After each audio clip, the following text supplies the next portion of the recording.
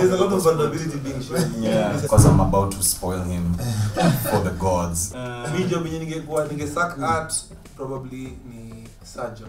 jumuika nasi katika soul family kila jumapili Niache niache, what's up everybody? We are Sauti Soul. We're bringing you good news, glad tidings. Soul Family, our new docu reality TV show is on Maisha Magic Plus every Sunday. It's amazing. It's about us. It's about Sol Generation.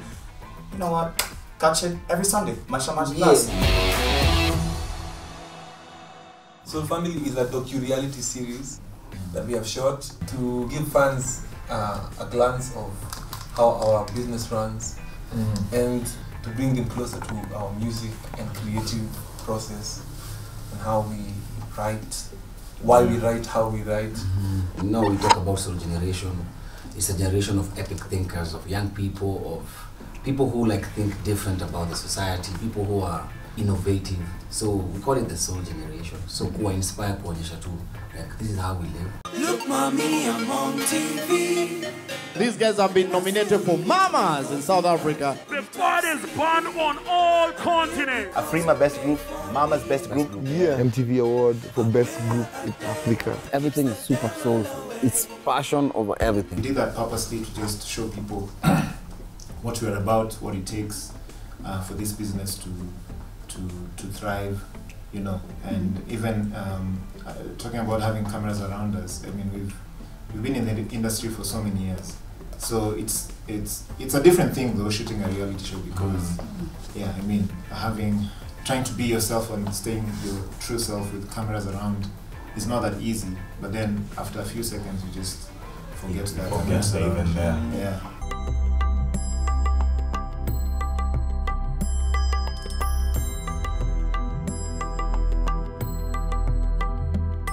Overwhelming part for me is when um, not being used to yes we- we're used to cameras but literally having cameras everywhere even when you want to just be yourself. Sometimes you find like you just want to you just want to talk some shit or like then you realize either you have the microphone or the camera is behind you and you hadn't noticed. So you know it's, it's just being made aware that because now you, you some at some points i guess getting you at your at those moments is what is key. There's a lot of vulnerability being shown in this entire that we didn't even know. It's not just about soul to soul, it's about sol generation. Mm-hmm. So there's a lot of stuff, maybe even 70% of the stuff that's being shot and then we watch we watch later or even watch with mm-hmm. the people. Mm-hmm. So there are many things that we didn't know about. So we are also being impacted the same way.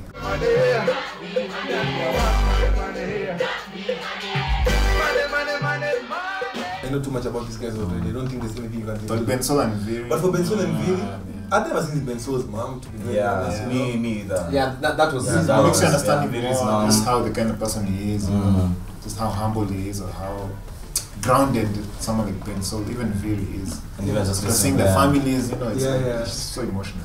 And then also like just hearing how they fell in love with music. I, I, I saw Viri's old like video. videos of him playing guitar.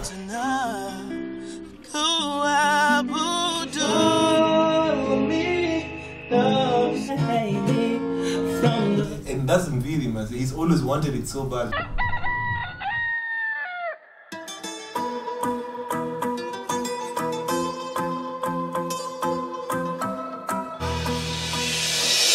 One day we were in, I think Finland, ama ilikuwa wapi tulikuwa Mm. on tour. And when we were on tour, me and Delva were always watching content from home. So at that time, we were watching Being Bahati. Mm. And just generally, we fell in love with the style of shooting, how it was mm. expressive, and how engaging it was. And so, like, because we, we did meet a couple of production houses, thinking of where would the best home for the show be. I think Eugene is just the guy who really stood out. Mm. Also, we went to high school with Eugene. Mm. Eugene was my neighbor in Roysambu. Tuki- tukiwa kama- eh, USIU. I used to go to Eugene's house actually to copy assignments. He was always good at his job. He used to go copy You know, like how Eugene would do an assignment to a production where he's short content. Mm. You know? Mm. Then he'll edit his. Mm. So what I do is I take the leftover leftover content, content and then I edit mine. yeah, and then I edit mine, and then I hand over. By the I'm gonna Peter Eugene. Hey, Eugene mzee. When I make this smoothie, I usually take it at around noon because that's when I break my fast. But sasa leo tutakunywa tu ikiwa tayari. And it's already kungoja. And we are hungry. we. Oh yeah, I'm talking about this, so my wife is pregnant. We're expecting a, a bouncing baby. Just having a baby is something that is very magical. It's the kind of emotions that you have to be there to understand. When, when let's say someone like someone who's close to us, like Nyash, when um, they're expecting a baby, he can tell you many things, but you can't really, you know, like feel exactly how he's feeling. Mm. So now that's what I'm feeling now. Mm. Because I remember him calling me and telling me, my friend, when you hold that baby like this the first time, you don't even know. It's like you're in the mood somewhere, just some weird place.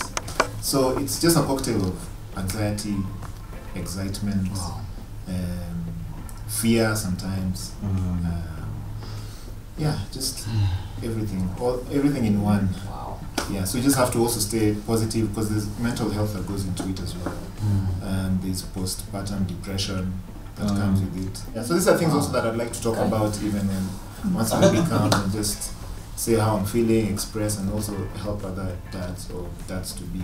Well, I've always thought uh, kids are a beautiful thing. I love Polycarp, I love Amanda. I think they're amazing people. Polycarp's children are my children. Mm. Yeah, we'll raise them. Um, the, what, what, what's, what, uh, what, the, what the child wants to eat, he'll eat in my house. He'll eat in Polycarp's house. Child will sleep in my house. Yeah. I don't know, man. I feel like I'm also being a dad. Mm. You know, whether he likes it or not. I'm going to be that child's quantum of solace. Like, I'm going to be that uncle. You He's, yeah. he's always going to be Quantum looking after me because I'm about to spoil him for the gods.